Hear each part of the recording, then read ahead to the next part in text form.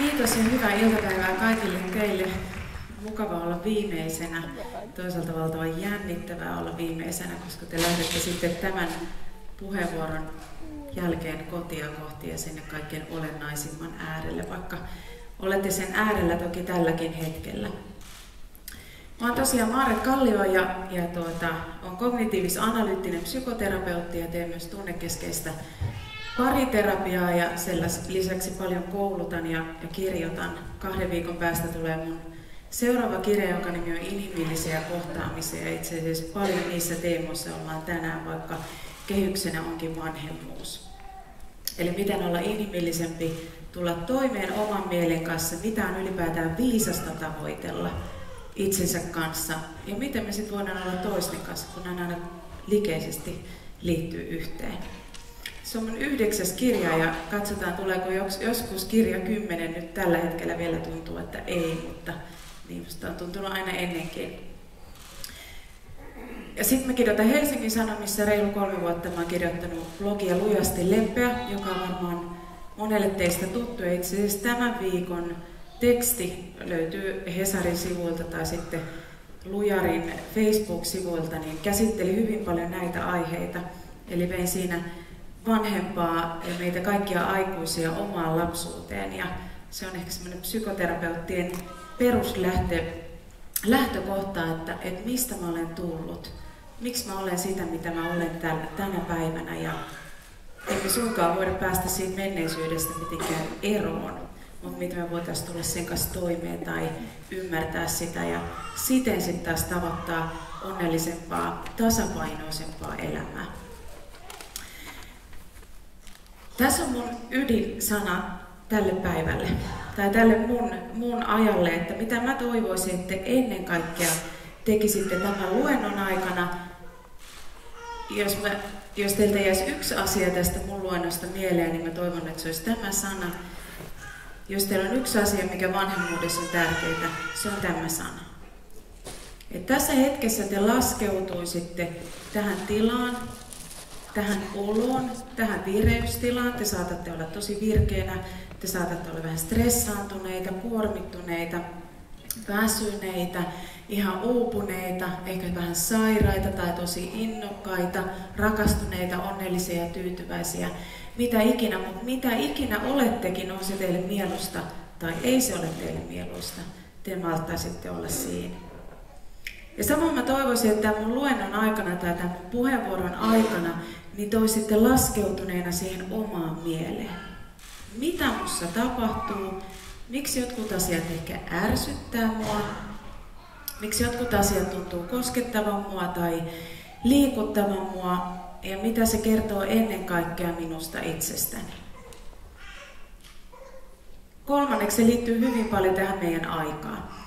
Voisin sanoa, että oon aika varma siitä, että jokaisella teillä on vähintäänkin yksi laite mukana. Mullakin on tuolla tietokone ja on kännykkä. Eli kaksi laitetta mukana. Meidän on hirvo, hirvo helppo karata erilaisiin todellisuuksiin. Teidän takapuolet on siellä penkissä, sen mä huomaan, kun te lähdette kesken kaiken, tai teidän takapuoli nousee. Mutta se, että poistutte paikalta, niin sitähän ei voi huomata, enkä mä voi sitä kontrolloidakaan. Ja sen takia yksi tärkeimmistä taidoista, mitä mä aina sanon omille lapsilleni, myös vähän niin kuin ehkä ilonan hengessä, tuossa kun sanon lapsille, että mitä pitää tehdä vaikka, että nyt pitää hoitaa nämä iltahommat kuntoon tai nyt pitää siivota ruokapöytä tai kattaa tai muuta, niin aina mä sanon, että tässä maailmassa pärjää ne, jotka pystyy keskittymään. Yksi asia kerrallaan, yksi asia kerrallaan, laskeudu rauhoitus siihen, mitä sä teet. Ja sitten tietenkin kaikkein tärkeintä se, miten se näkyy meissä itsessämme, että me tehdään yhtä asiaa kerrallaan. Eli tehkää tämän puheenvuoron aikana sitä, että te olette tässä puheenvuorossa niin paljon kuin mahdollista. Lähdetään katsomaan sitä inhimillistä olemista itsensä kanssa ja sitten sen lapsen ja nuoren kanssa, niin lähdetään katsoa siitä tämän kolmion kautta. Tämä vaan hahmottaa, eli tämä on kaikkein tämmöinen teoreettisen kuva, mikä mulla täällä tulee olemaan, mutta lähdetään ennen kaikkea mielen tilasta. Ja se on tarkoituksella kirjoitettu erikseen, eli ei ole yhdyssanan virhe, vaan että onko meillä tilaa mielelle. Onko meillä tilaa meidän elämässä meidän arjessa, joka kuitenkin ratkaisee kaikkein eniten, onko meillä tilaa oikeasti pohdiskella sitä, että miten me voidaan, mitä meille kuuluu, mitä meidän läheisille kuuluu, vai mennäänkö me ihan ammuksina koko ajan eteenpäin ja sitten me puretaan kauheeseen väsymykseen, kunnes me taas töytäistään se ammus vauhtiin ja, ja taas me kiihdytetään sitä tilaa. Eli olosuhteilla on vaikutusta. Voi ajatella, että vuorovaikutus itsen kanssa ja toisten kanssa, niin se on vähän niin kuin tennisottelu, jossa yksi lyö palloa ja toinen lyö takaisin. Ja tietenkin sillä, että miten se ensimmäinen lyö vaikuttaa siihen, miten se toinen vastaa, mutta myös olosuhteet vaikuttaa. Jos siellä on kauhean hyvä sää ja kenttä kuiva, on vielä helppo pelata. Eli optimaalisissa olosuhteissa toimiminen itsen tai lasten tai puolison tai työkavereiden kanssa, niin se on vielä tosi helppoa. Meistä jokainen tietää, että silloin kun me pärjätään, meillä on hauskaa ja kivaa ja on rentoa, niin se on vielä ihan helppoa. Mutta hankalissa hetkissä, hankalissa tunteissa, kriisitilanteissa, konflikteissa, riidoissa, itsemme kanssa ja muiden kanssa tai elämäntilanteen ollessa hankala, niin siinä kristalloituu paljon meidän kykymme ja taitomme. Ja just niitä me halutaan myös meidän lapsille tulee. Ei niinkään, että he saisivat elämä, jossa ei tapahdu mitään hankalaa, kun se ei ole meidän kontrollissa, sitä tulee tapahtumaan kyllä, vaan että heillä olisi kykyä toimia niissä tilanteissa. Mutta millaisia olosuhteita myös me itse luodaan, minkälaista tenniskenttää me rakennetaan, että onko siellä koko ajan kauhea suhina ja tuuli, vai voidaanko me itsekin rauhoittaa. Ja sitten täällä mä tuun olla kaikkein eniten, täällä kakkosessa, eli siinä, että miten me tullaan itsemme kanssa toimeen. Me vanhemmat hirveän usein mennään siihen virheeseen, itsekin livun siihen tosi herkästi aina uudestaan ja sitten voin huomata se ja palata taas takaisin. Että me halutaan hirveästi niille lapsille hyvää. Kuka meistä ei toivoisi, että meidän lapset saisi hyvän lapsuuden? Kukapa meistä ei toivoisi, että me jäätäisiin niiden mieleen ja niiden sisälle semmoisen rohkaisevana äänenä tai tukena tai turvana tai uskona. Ja siksi me annetaan niille hyvin paljon, mutta olisi hirveän merkittävää, että me jaksettaisiin työskennellä itsemme kanssa. Se on aina lapsen etu, kun me ollaan itsemme kanssa, tehdään töitä, mitä paremmin me ymmärretään itseämme, osataan toimia oman mielen kanssa, niin sitä viisaampia vanhempia me ollaan, kun me huolehditaan myös omasta hyvinvoinnista. Ja se usein unohtuu ja sen takia ajattelin olla siellä tänään paljon. Ja sitten kolmantena miten nämä kaikki, nämä kaksi ensimmäistä ja ennen kaikkea se oleminen itseni kanssa, niin miten se näyttäytyy siinä olemisessani vanhempana. Ja korostan sanaa oleminen, ei tekeminen. Vanhemmuus on ennen kaikkea läsnäololaji, ei suinkaan tekniikkalaji. Meillä on tässä Suomen maassa ja, ja näissä tiedoissa ja artikkeleissa ja tietokirjoissa ja, ja seminaareissa ja luennoissa meillä on valtavasti tietoa, mutta se ei suinkaan aina tarkoita sitä, että meillä on taitoa. Ja hirveän usein tällaiset älylliset ja, ja koulutetut ja fiksut vanhemmat tekisivät tänään myös minulta roppakaupalla täällä vinkkejä, että miten kuuluisi olla, mutta lähdetäänkin enemmän suorittamaan sitä vanhemmuutta ja tekemään sitä teknisesti mahdollisimman hyvin. Ja se voi ajaa meidät kuitenkin ohi sieltä kaikkein ytimestä. Eli miten me siedetään siellä olemista ja miten me osataan toimia sen oman mielen kanssa, onko meidän mielessä tilaa tai onko meidän elämässä ja ajankäytössä tilaa.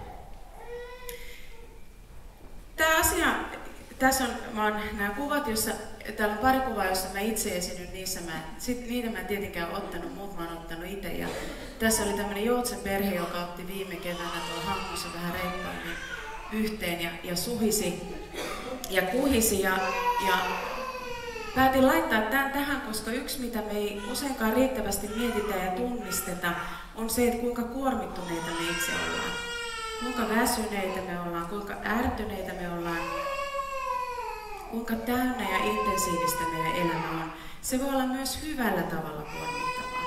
Se, mitä ihmiset ei usein tiedosta, on se, että ei ainoastaan hankalat ja kiireiset ja stressaavat asiat kuormita meitä, vaan myös esimerkiksi intensiiviset juhlat tai kivat sosiaaliset tilanteet tai, tai joku kauhean ihana suhina paikka ja tekeminen lasten kanssa, niin ne saattaa olla kauhean mieluisia meille, mutta samanaikaisesti kuormittaa meitä. Kenenkään mieli ei ole mitenkään erityinen täällä, sori vaan, meistä ei ole kukaan mikään superihminen. Inhimillisyys koskettaa joka ikistä meistä.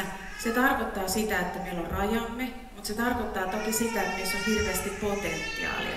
On aivan turhaa lähteä luomaan sellaista mielikuvaa, että hyvä vanhempi olisi aina jotenkin tseen tai aina jotenkin rauhallinen tai itse olen meditoinut vuosia päivittäin, en ole siltikään saapunut mielentilaa, jossa olisin ikuisesti rauhallinen, koska ei se ole mahdollista, tai ehkä jos olisi ei-asuntovelallisena ja lapsettomana mahdollista meditoida kahdeksan tuntia päivässä, niin se voisi sitten olla, olla vähän eri tilanne.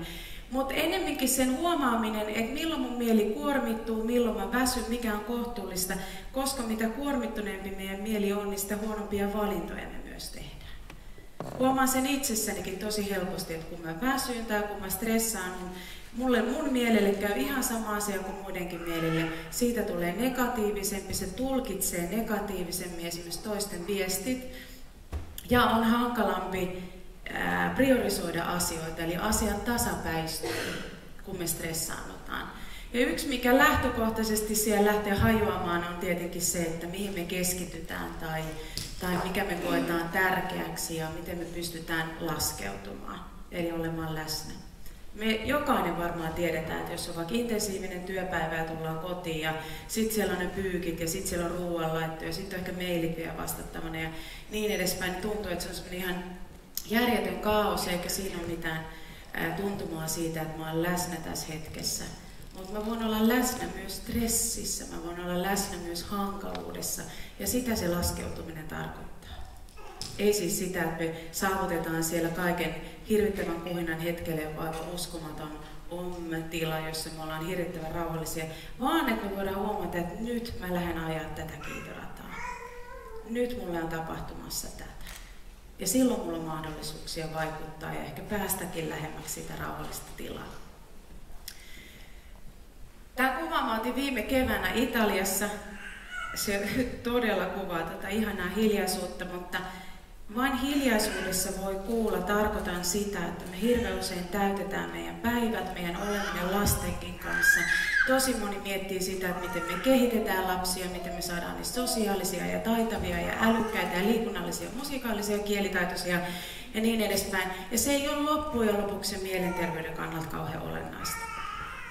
Mä sanon aika rajusti, mä tiedän, niin se saattaa ärsyttääkin. Mutta jos ajattelette itseänne, niin mitä te muistatte lapsuudestanne? tärkeänä asiana. Tuskin sitä, että mitä sosetta tar- tarjottiin, tuskin sitä, että oliko pinattiletut kaupan tekemiä vai oliko ne äidin tekemiä tai, tai kuinka hieno matka oli missäkin hotellissa, vaan me muistetaan se, että miten meidän kanssa oltiin, miten meitä lohdutettiin, kun meillä oli hankala olla, miten meitä rauhoitettiin, kun me pelättiin, miten meihin reagointiin, kun me suututtiin, ja miten meidät nähtiin silloin, kun meidän vanhemmat tappeli keskenään esimerkiksi. Ja ne on ne, jotka tekee sinne perustavanlaatuisia taitoja, jotka sitten kyllä esimerkiksi auttavat oppimisessa ja luovuudessa, eli sitten näitä vähän hienompia taitoja. Mutta että me mentäisiin sinne perustaan. Me maltettaisiin olla siellä, niin kuin mä yhtä ihanaa perhettä tässä täällä katsomassa katsoin tuossa tullessani, joka oli vauvan kanssa ja vuoron katsoivat vauvaa ja vuoron katsoivat toisiaan. Ja, ja mä ajattelin, että just tossa. Että kun usein me vaan vauvan kanssa tungetaan sinne jotain helistintä väliä, väliin, vaikka sinne lapselle riittää tosi pitkään vanhemman kasvot. Ihan tutkitusti, eli ei mikään pelkkä väite. Eli jotta me voidaan kohdata toista ihmistä, niin meidän on kohdattava itsemme. Nämä liittyy aina yhteen. Vanhemmuuteen liittyy aina myös tämä erillisyys. Että me osataan erottaa, että mikä on minua ja mikä on lasta. Mikä on sitä, että mua peluttaa lapsen puolesta ja mikä on lapsen pelko ja mä oon täällä ihan rauhallinen. Kuulostaa hirveän helpolta, se on itse asiassa aika vaikeaa. Eli myöskin sen tilan tunnun antaminen, niin kuin Ilona tuossa kauniisti kuvasi, että miten hänen pojilla on erilainen temperamentti ja näkee ja antaa tilaa sille persoonalle ja luonteelle ja sitten myöskin tuo sinne mahdollisuuksia rauhoittaa ja, ja toimia mahdollisimman hyvin, mutta että me ollaan aina täällä tekemisissä itsemme kanssa. Ja kun puhutaan hyvästä vanhemmuudesta, kun puhutaan psykoterapiatutkimuksesta, kun puhutaan psykoterapiasta hoitomuotona, jota itse teen, tai kun puhutaan tasapainoisesta mielestä, joka siis kykenee jotenkin ajelehtimaan näillä aalloilla, ei sitä, että se on yhtä suoraa viivaa, niin se on aina kykyä pohtia pinnan alle. Eli aina vanhempina ja itsemme kanssa, että me maltettaisiin miettiä pinnan alle, että me ei jäätäisi siihen, mitä, mikä ilmeisimmin on näkyvillä. No, mitä tämä tarkoittaa konkreettisesti? Se tarkoittaa esimerkiksi näitä erilaisia leimoja tai uskomuksia tai ajatuksia, joita me isketään itsemme tai me isketään muihin. Näistähän on jopa yhteiskunnallisesti puhuttu paljon viime aikoina. Ajatelkaa puolueita, ajatelkaa eri maalaisia, ajatelkaa eri päin Suomea olevia ja niin edespäin. Mutta täällä on varmaan sellaisia, joista löydätte kyllä itsennekin, että joku sanoi, että mä oon kyllä liikunnan viha joku ala-asteella. Opettaja oli niin kauhea, että se meni sitten siinä, että mikä sille mahtaa, että musta tuli liikunnan viha. Ja tai että mä oon niin kontrollifriikki, joka on musta kammottava sana. Ei kukaan ole kontrollifriikki.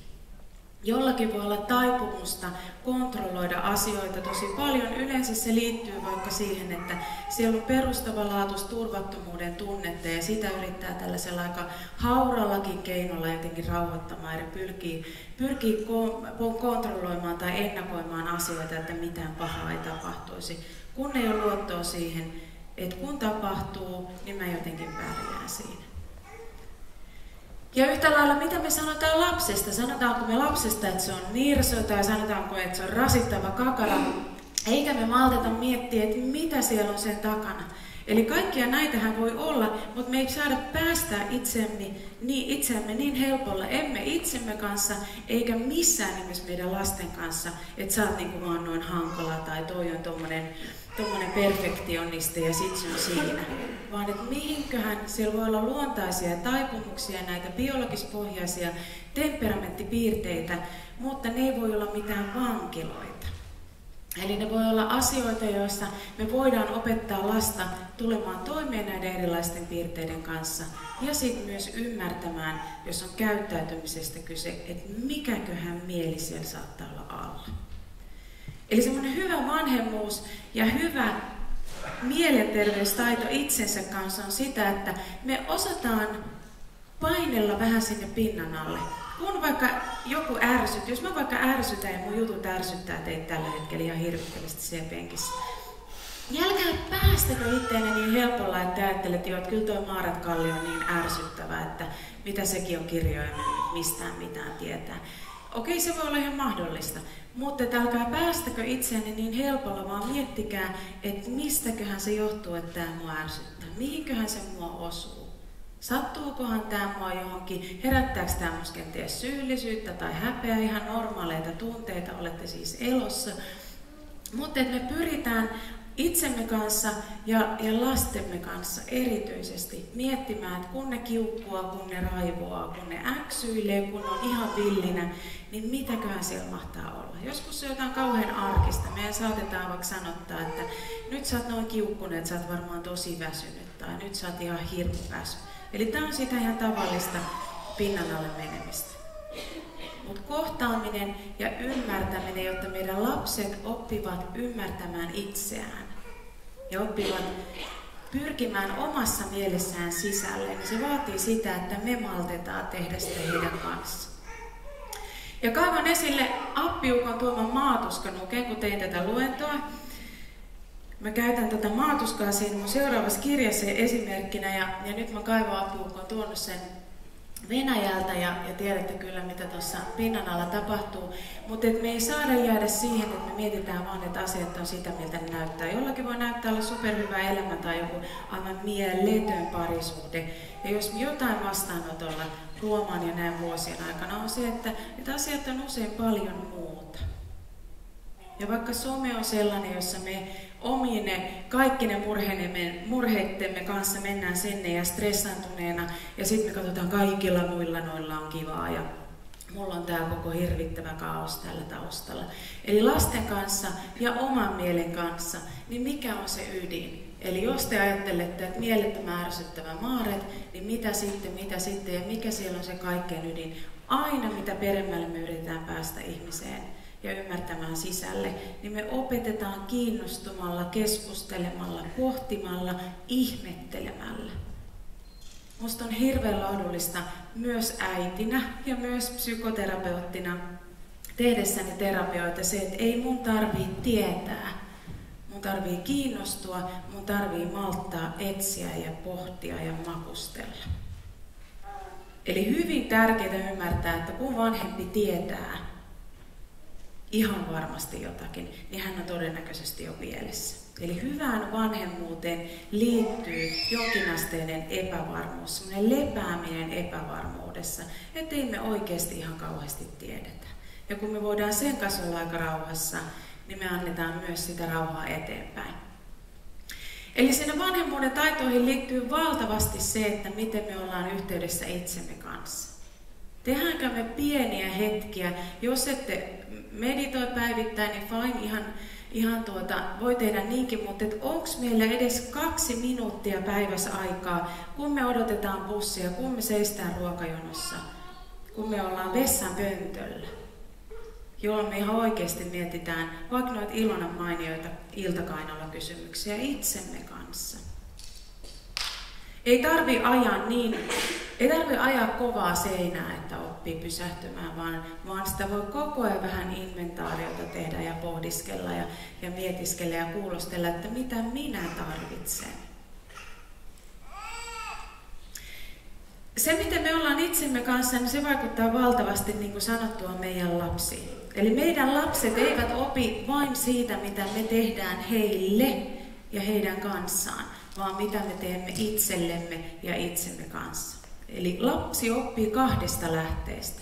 Sekä siitä, mitä te teette heidän kanssaan, ja siitä, mitä te he näkevät, kokevat toistuvasti, loputtomasti teidän tekemän itsenne kanssa.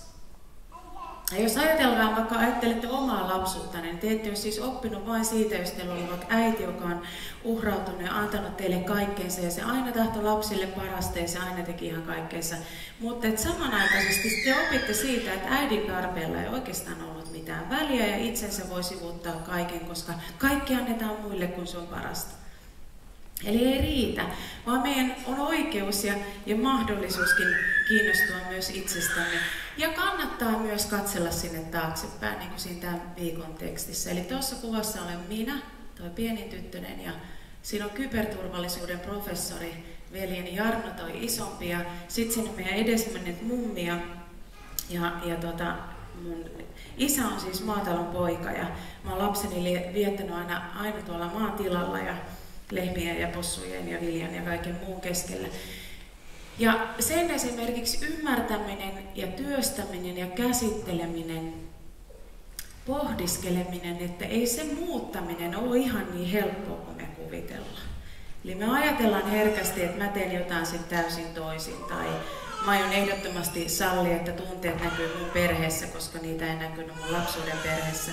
Mutta tutkimuksissa näyttäytyy, että vanhemmat kuitenkin hyvin paljon tekee sitä hyvin samaa tai toistaa niitä samoja asioita, vaikka ne näin tiedollisella tasolla päättäisikin ja haluaisi, haluava, haluaisivatkin toimia toisin.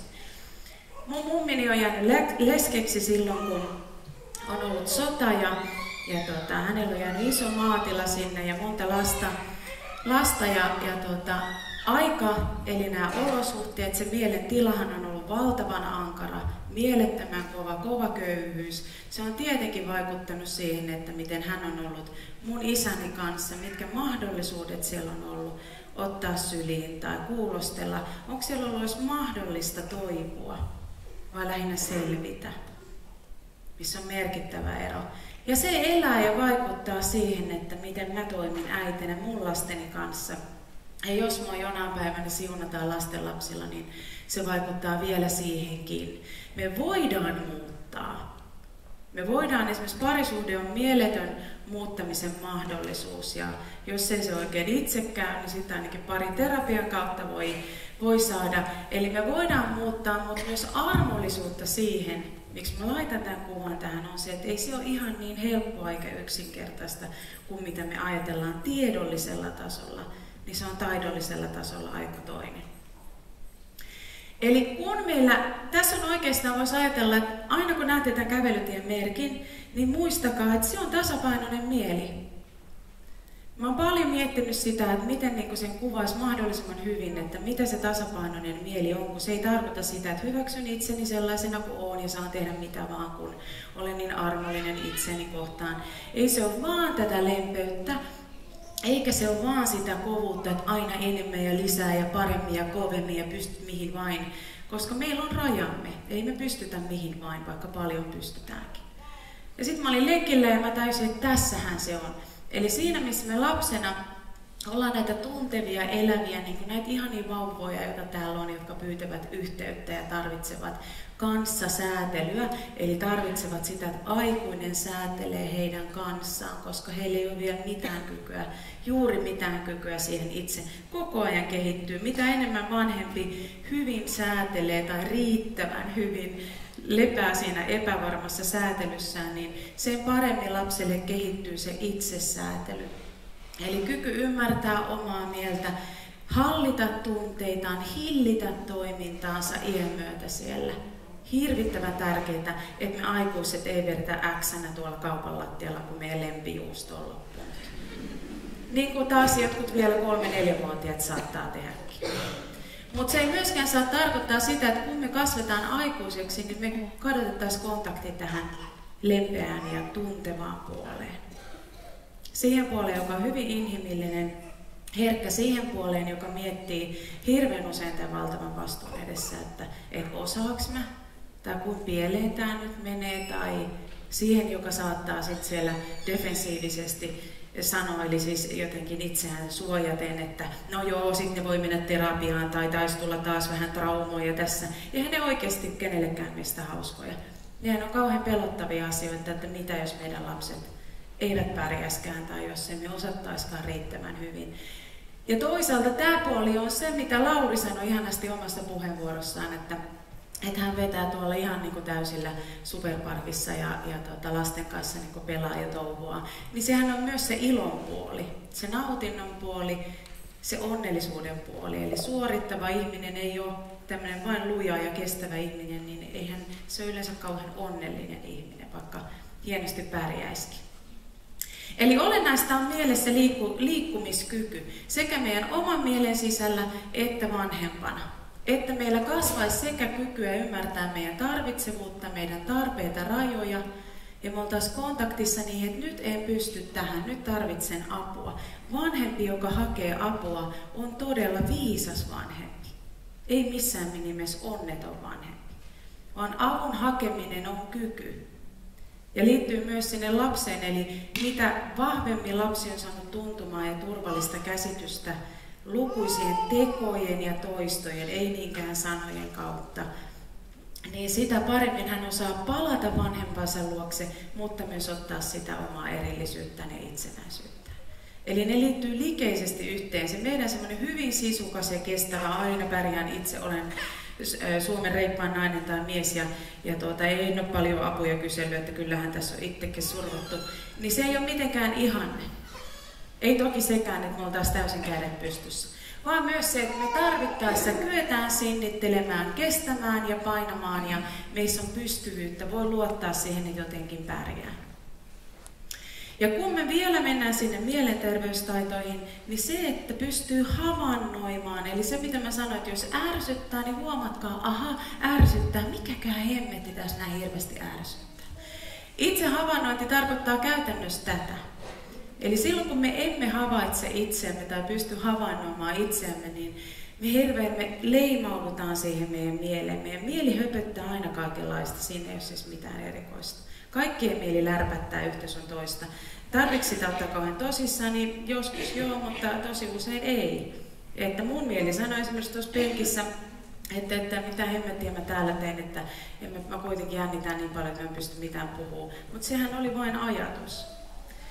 Eli ennemminkin tämä on se itse havainnointi, että me kyetään astumaan vähän taaemmaksi itsestämme, että mitäköhän muussa nyt tapahtuu. Tällainenkin ajatus, tällainenkin tunne. Aha, vatsaa rupeaa koskee, kun hermostuttaa niin paljon, tai kädet rupeaa tärisemään. Ja miten voin valjastaa toisia puolia itsestäni rauhoittamaan tai tyynnyttämään, vai aktivoituuko siellä lähinnä vaikka hyvin ankara puoli, joka sanoo, että ei pidä jännittää, tai mitä sä nyt tollasta. Voiko kuulla ääniä omassa mielessä? Eli terve ihminen kuulee ääniä. Siellä on paljon jengiä pään sisällä, joka puhuu, ja se on hyvä. Mutta kyetäänkö me katselemaan? Ja mitä paremmin me huomataan vaikka sitä, että okei, mä rupean vanhempana nyt niin tajuttomasti raivostumaan, niin sitä helpompihan meidän on ottaa siitä vähän aikaisemmin välimatkaa, eikä vasta sitten, kun, kun tilanne on jo käsillä. Eli kun puhutaan hyvästä vanhemmuudesta, niin pitää puhua myös hyvästä suhteesta itseen. Se kiltteyden on oltava kaksisuuntaista. Ei vaan sitä, että me ollaan kilttejä lapsia kohtaan, vaan että me ollaan kilttejä itseämme kohtaan. Aina kun me ollaan kilttejä, ymmärtäväisiä ja rajataan ja pidetään huolta omista tarpeistamme, niin me opetetaan myös samalla sitä, että sulla on oikeus siihen. Me mallinnetaan omalla olemisellamme niin lukuisilla pienillä mikrohetkillä niille lapsille ihmisenä olemista. Ja se, että me ollaan itseämme kohtaan myötätuntoisia, niin se aina rakentaa myös sitä yhteistä hyvää. Mutta mä käännyn vielä lasta kohti. Eli niin kuin huomaatte, että me koko ajan kuljetaan monenlaista tasoa siellä yhdessä. Ja yksi on se, että me tiedetään, että lapset on hyvin riippuvaisia. Mitä pienempi lapsi, täällä on näitä pieniä vauvoja, he pärjää. Ei he selvi, me ei selvitä hengissä elossa. Mutta se, mitä me ei usein ajatella, että me aikuisetkin edelleen tarvitaan sitä kanssasäätelyä toista ihmistä me aikuisetkin tarvitaan yhteyttä muihin, siksi me hakeudutaan parisuhteisiin, siksi me petytään niissä niin kauhean karvaasti, sitten me hakeudutaan ehkä uusiin parisuhteisiin, mutta me aina pyritään lähelle toista ihmistä. Se on ihmismielen ja ihan ihmisen perusluonto. Se näyttäytyy hirveän hyvin tässä. Viime tammikuussa mä olin Unicefin matkassa Mosambikissa. Sellainen matka, joka jätti muun ihan, ihan lähtemättömän jäljen. Ja nämä lapset elävät siellä yhdessä maailman epäinhimillisimmissä valtioissa, eli siellä on nälänhätää, siellä on paljon sairautta, siellä on paljon väkivaltaa, seksuaalista väkivaltaa. Ja nämä lapset elävät hyvin paljon keskimään, keskenään. Tämäkin Rosita, jonka maha pullottaa, niin on kärsinyt tosi kovasta nälänhädästä, nyt päässyt vähän, tai tammikuussa jo vähän paremmille käyrille. Ja silti kun me tultiin niillä autoilla sinne maaseudulle, jossa ei ollut aikuisia juuri ollenkaan, saattoi olla kymmeniä lapsia yksinään. Viisivuotias kantaa kymmenkuista kantaliinassa selässään, eli äärimmäisen erilainen tilanne kuin meillä vaikka ihan samanlaisia, ihan yhtä keskeneräisiä lapsia. Ja silti kun me tultiin sinne, ja arvaavat, että Unicefin autossa on varmaan vettä ja ruokaa, ja sieltä tulee tämmöinen vähän hassun näköinen valkoinen nainen, niin mitä lapset tekee? Ja seisoo ja katsoo ja tosi moni tekee näin. Eli että ota syykkyyn, pääseekö lähelle, pääseekö turvaan. Ja se kuvaa mun mielestä meidän ihmisrotua äärimmäisen hyvin. Silloinkin, kun nämä lapset, jotka ovat siellä ilman aikuista, kärsivät nälästä ja sairauksista ja, ja tosi karuista olosuhteista, niin he pyytävät ensisijaisesti lähelle. Ja tietenkin se on myös kammottavaa, että he pyytävät lähelle, koska eihän me toivottaisi, että joku vieras aikuinen tulee autosta ja meidän lapset olisi näin.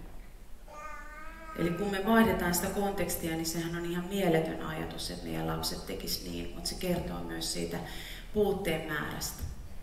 Eli siinä, missä nämä pienet lapset kaipaavat sitä yhteyttä toisiin ihmisiin, myös me aikuiset kaivataan. Siksi mä korostan tätä, että hakekaa apua kumppanilta, miettikää tiiminä, hakekaa apua ystävistä, hakekaa apua ammattilaisista, seminaareista, mutta että me saataisiin mennä myös itse siihen yhteyden turvaan. Vaikka itse psykoterapeuttina, niin käyn jatkuvasti työnohjauksessa viisaampien psykoterapeuttien luona miettimässä potilaiden asioita tai tapaan kollegoita ja konsultoin, pyydän apua. Eli myös ammatillisessa mielessä mun pitää olla koko ajan muissa roikkumassa, koska oon itse antamassa hyvin paljon. Ja se ihan sama dynamiikka vanhempina. Ja sitten se perusteellinen asia, että se itsenäisyys, me halutaan, että meidän lapset itsenäistyy. Teistä ei varmaan kukaan halua, että ne on kolmekymppisenä tosi tyytyväisenä siellä sohvalla, että ei vitsi, mitä meillä on tänään ruokana ja nyt on oppinut petaamaan sängyn. Me halutaan, että ne itsenäistyy. Sehän on se tehtävä. Eli että siellä tulee sitä tervettä itsenäistymistä, ei sitä, että, että mä en tarvitse ketään ja kenelläkään mitään merkitystä, mutta ei sitäkään, että mä takerun kiinni, koska mulla ei turvaa siitä, että siellä on joku, jonka luokse palata. Eli itsenäisyys perustuu aina turvalliselle yhteydelle. Jos te haluatte teidän lapsista itsenäisiä, itsekseen ajattelevia, tarjotkaa niille mahdollisimman paljon turvallista yhteyttä, pohdintaa, mietiskelyä, yhdessä tyynnyttelyä. Sitä voimakkaammin heille sisäistyy se itselleen. Ja sen pohtiminen, että vuorovaikutus, niin kuin sanoisin, tennisottelusta voi sanoa myös tanssiin kutsuista, että minkälaisia tanssiin kutsuja me tehdään meidän puolison kanssa tai kumppanin kanssa, meidän vanhempien kanssa, meidän omien lasten kanssa. Eli kun me halutaan yhteyttä tai kun me tai mitä me eniten tarvitaan toiselta ihmiseltä, niin se on kuitenkin yhteys ja tunneyhteys. Me tullaan kohdatuksi tunteissa. Jos ajattelette, että teette vaikka itse jonkun mokan, ja tuutte kotiin ja puratte sen kumppanille ja se kumppani alkaa neuvoa teitä, että miten siinä olisi kannattanut tehdä, miten olisi pitänyt toimia. Eihän siitä tule semmoinen, että ei vitsi, että kiitos kun kerroitte, että eipä käynyt mielessä, jos olette tosi tohtoneina. Vaan, vaan te petytte, että miksi toi ei kuuntele mua, se ei arvosta mun mielipidettä. Tai te, jotka olette jo ehtineet esimerkiksi tapella kurahousuista, alan olla itse siitä jo ohitse, niin onko ikinä toiminut se, että lapsi on, en halua laittaa kuriksi, en halua laittaa kuriksi, ja sitten rupeatte perustelemaan, että siellä on todella kostea sää, ja tuota, noin sun perushousut ei pidä vettä, että se lapsi on sanonut, ah okei, okay, no sitten. Ei sellaista tapahdu. Eli ennen kaikkea, kun me halutaan yhteyttä toiseen ihmiseen, niin me halutaan ensisijaisesti yhteyttä siellä tunnetasolla. Sitten voi tulla neuvojen paikka. Mutta neuvojen paikka on vasta sitten, kun me ollaan liitytty tunnetasolla toiseen ihmiseen. Muistakaa, pätee erinomaisesti myös parisuhteessa. Toinen virhe, mitä me tehdään usein vanhempana, on se, että, tai Suomen maassa tai ehkä länsimaissa ylipäätään, että me katsotaan yksilöä. Ja me katsotaan hirveän usein vain vanhempaa, me katsotaan hirveän usein vain lasta. Ja hyvässä vanhemmuudessa niin on kyse aina parista, ihan niin kuin parisuhteessakin. Tässä mun isoveli lapsensa kanssa ja olen saanut luvan käyttää heitä, heitä tässä kuvassa. Jos ajattelette, että tässä olisi nämä samat vanhemman kasvot ja tässä olisi lapsi, jolta tursuisi kyyneleet silmistä, hän olisi vaikka kauhuissaan, niin tämä kuvahan olisi tosi erilainen. Eli aina meidän pitää katsoa paria. Ei voi katsoa, että onko siellä ihana vanhempi, joka niin kivasti juttelee, koska jos meillä on vaikka hirmu hymyilevä, ihana vanhempi ja siinä on itkevä tai kauhistunut lapsi, niin tämä vanhempi ei millään tavoin peilaa sitä lapsen mielialaa. Eli meidän tarkoitus on se, että meidän pitää peilata toisiamme, säädellä ja sietää itsemme ja antaa jotain vähän lisää takaisin. Eikä se, että mitä kaikki meistä on inhimillisesti varmaan yrittänyt. Meillä on vaikka joku hätääntynyt lapsi, joka on ihan kauheassa hädässä ja sitten ruvetaan, että kato lamppua, kato lamppua, niin eihän ne kato siinä kohdassa lamppua. Ne tarvii ensin sitä, että niitä tyynnytetään, poimitaan, että me poimitaan se tunne lapsen tai puolison kasvoilta, ilmaisusta, sanoista, sieltä toiminnan takaa. Ja sitten me liitytään siihen ja sitten me voidaan tuoda siihen jotain uutta se lampun näyttäminen, kun on vähän tyyntynyt vaikka vauva, niin sittenhän se toimii. Täysin itkevelle ei taatusti toimi. Eli aina, vaikka itse kun on en tee pienten lasten kanssa töitä, mutta teen nuorten kanssa ja parien kanssa, niin aina katson sitä, että miten se toinen resonoi siihen toiseen. Eli ei riitä, että meillä on mikä enkelten kielillä puhuva isä tai äiti, niin jos ei se mätsää sen lapsen kanssa, niin se ei ole hyvää vanhemmuutta, riittävän hyvää vanhemmuutta. Mä tuun lopuksi vielä vähän kuohuihin, koska niitä tapahtuu, ni, niitä tapahtuu. Jokainen meistä tietää, että niitä tapahtuu oman mielen sisällä. Me kuohahdetaan, voi olla, että me ollaan kuormittuneita tai meillä tulee riita, meidän, meidän lapset on kuormittuneita, väsyneitä, nälkäisiä, kiukkusia. Hirveän todennäköisesti tämä tapahtuu esimerkiksi tuossa noin viiden aikaan, kun ollaan palattu kotiin ja ei olla vielä syöty. Mutta miten me toimitaan siellä? Eli ei me voida estää sitä, että meidän lasten elämässä nyt tai myöhemmin ei tulisi kovia aaltoja. Mutta ei me voida estää sitäkään, ettei tulisi meidän välille. Hyvissä suhteissa saa tapahtua virheitä, mutta ne korjataan. Eli kun on hirveän kovat aallot, niin kannattaa miettiä, että tunteet tarttuu. Palataan siihen vastin pariin. Mitä me tartutetaan ja tuodaan sille toiselle ihmiselle, kun hän on vaikka hädässä tai tuohtunut. Ja palataan siihen alkuun kahteen palloon, minä ja sinä ja kohtaaminen. Miten pysyn siitä riittävän erillään? Eli pystynkö rauhoittamaan, maadottamaan itseäni ja mitä sitten tuomaan sille toiselle, miten liittymään hänen tunteeseensa ja kohtaamaan. Vaikka omassa psykoterapeutin työssä, niin oon jatkuvasti hyvin järkyttävien asioiden äärellä. Saatan olla potilaan kanssa, joka saa paniikkikohtauksen kesken istunnon tai hirveän voimakkaan ahdistuksen, siinä on pakko pysyä koko ajan erillään, mutta kuitenkin lämpimästi lähellä, eikä operoida sieltä kaukaa, että hei kannattaisi vähän ahdistuneena rentoutua siellä.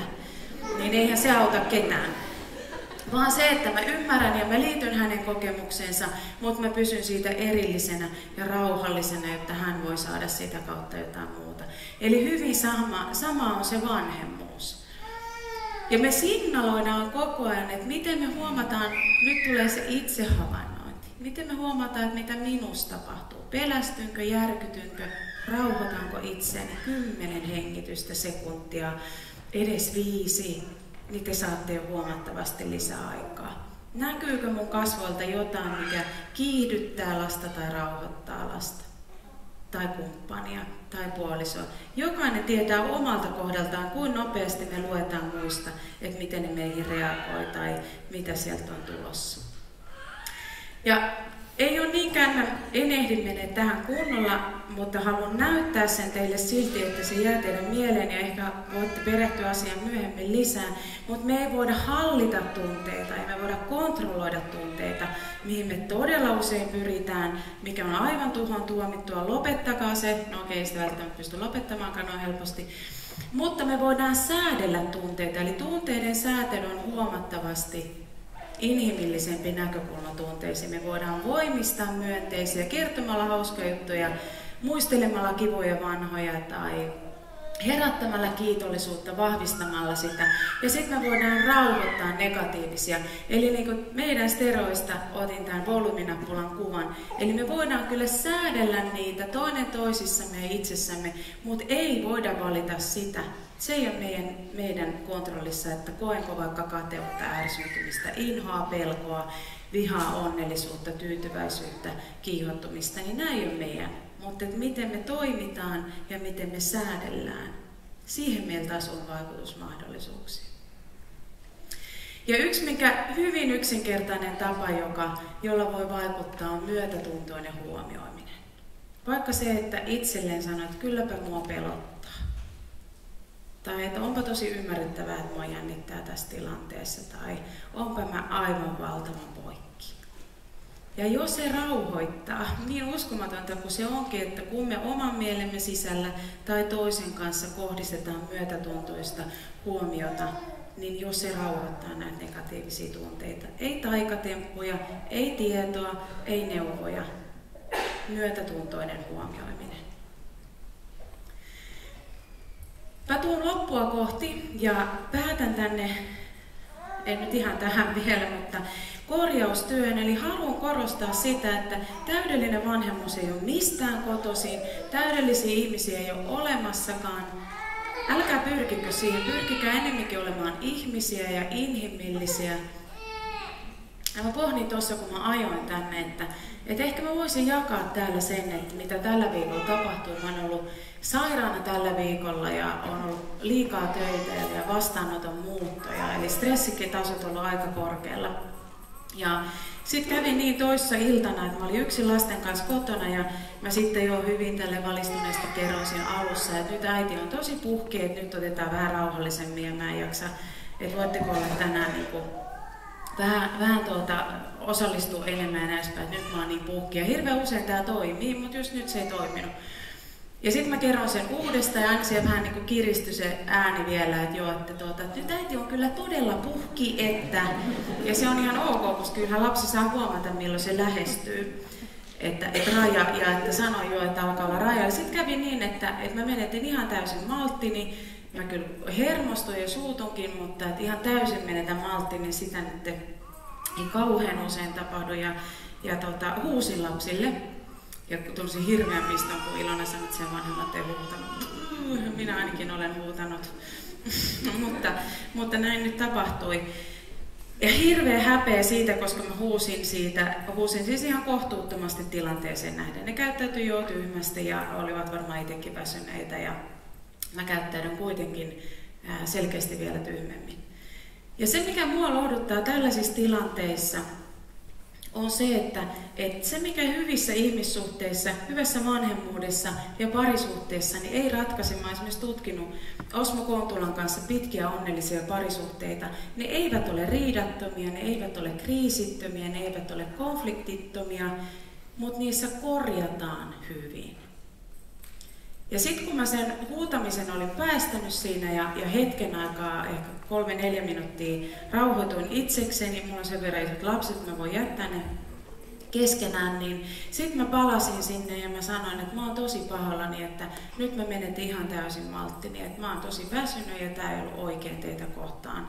Että musta tuntuu kurjalta, että te ette toiminut näin. Ja miltäköhän se mahto tuntuu, kun äiti huusi niin kovaa. Ja, ja sitten pienempi sanoi, että mua kyllä pelotti. Ja sehän tuntuu ihan hirveältä, kun lapsi sanoi, että hän pelkäsi mua, kun niin kovaa. Mutta sen sietäminen, että se lapsi siinä hetkessä pelkäsi mua ja mä sanoin, että mä kuulen, että sä pelkäsit ja, ja, ja tota, mitä sä ajattelit? No hän ajatteli, että jos sä vaikka lähdet, jotakin rupesi pelottaa. en mä, mä oon ihan kiltti, mä menen tänne. Eli tämä korjaamistyö, että me maltetaan kuunnella, että miten siellä toisella puolella meidän toiminta koettiin. Ja että se toinen puoli vaikka parisuhteessa malttaa kuunnella, että miten minä koin sen täällä. Olinko mä pelottava tai olisiko mä siitä mennyt enempää levälleen, niin omasta mielestäni en. Mutta että miten toinen kokee siellä ja kykenenkö mä ottamaan vastaan. Eli hyvässä vanhemmuudessa me korjataan, me voidaan. Mä vielä sanoin meidän lapsille, että, että mua hävettää, että mua hävettää niin paljon, että mä en haluaisi edes puhua tästä, mikä on siis ihan tavallinen inhimillinen reaktio, että kun meillä on jotain häpeällistä, niin käännetään katse pois sieltä. Et ei mennä siihen.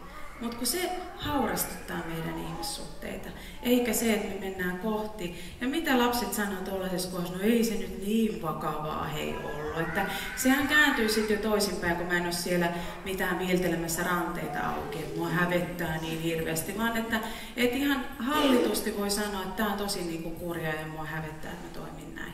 Ja silloinhan ihmiset on yleensä armollisia, kun me kannetaan se ja me pyydetään myöskin sitä yhteyttä. Eli korjatkaa. Älkää niinkään pyrkikö siihen, että meille ei tapahtuisi jotain. Ja että me aikuisetkin tarvitaan tyynnytysapua. Me voidaan jakaa, me voidaan pyytää apua mekin mennään epätasapainoon, mekin mennään poistolaltaan, ihan niin kuin ne lapsetkin. Meillä pitäisi olla aika paljon kykyjä itsemme kanssa täysin, ei kenelläkään. Jos luulette, hakekaa apua. Eli jokaisella meistä on kipumme kannettavana, kannettavanamme. Jokaisella meille tulee varmaan mieleen siellä haavoja ja ajatuksia ja, ja tilanteita, joissa me ollaan toimittu väärin ja miten me ostaan niiden kohdalla olla ja jakaa niitä, niin se on olennaista. Eli ennemminkin, että pyritään sovintoon itsemme kanssa ja meidän lasten kanssa ja perheen kanssa, eikä niinkään siihen, että me päästäisiin asioista eroon. Mulla, mä näen, että Makke liikuskelee teolla, mutta, mutta mulla on kolme slaidia, jotka mä vielä näytän ja, ja rauhallisesti sanon. Te olette tänään kuullut paljon hirveän hyvää asiaa. ihan huippuhyviltä luennoitsijoilta. Mä toivon, että te olette myös poiminut niitä asioita, joissa te teette hyvää ja jossa te onnistutte. Myös teidän hyvä vanhemmuus on totta. Me hirveän usein huomataan se, mikä menee huonosti. Mutta myös se kaikki hyvä, mitä me tehdään, niin se on ihan yhtä totta. Ja kun meillä on mahdollisuus tällaisena päivänä ja kohta kun te lähdette kotiin, mä toivoisin, että te pysähtyisitte miettimään, mikä teille on arvokasta. Se on aika selkeää, kun te olette täällä. Ja joskus elämä tuottaa näitä pysähdyksen paikkoja. Tänä aamuna mun hyvin läheinen ystävä otti yhteyttä, että viime yönä hänen poikansa oli vähän, vähän tuota, kavereiden kanssa ulkona ja, ja joutunut tuota, puukon kanssa tehdyn ryöstön uhriksi. Ja se oli taas sellainen hyvä muistutus siitä niin kuin omassa työssäni jatkuvasti on sen äärellä, mikä me tosi herkästi unohdetaan, että elämä ei ole itsestäänselvyys. Se, että me istutaan tässä juuri nyt, se, että me voidaan murehtia siitä, että tuliko nyt annettu riittävästi tai liian vähän someaikaa tai ruutuaikaa tai mitä ikinä, niin se on todella hyvin. Että ne asiat voi mennä toisinkin ja puukotuksessa ei siis tapahtunut pahempaa, vaan, vaan poika pääsi sillä, että antoi kaiken omaisuutensa. Mutta muistetaan, että elämä ei ole itsestäänselvyys. Ja jaksetaan miettiä arjen kuhinnoissakin, että mikä todella on tärkeää. Mikä todella on merkityksellistä, millä me annetaan aikaa meidän elämässä. Ja ettei me vanhempinakaan pyrittäisi sankareiksi ja huipuiksi, vaan että me uskallettaisiin olla ihmisiä. Kiitos.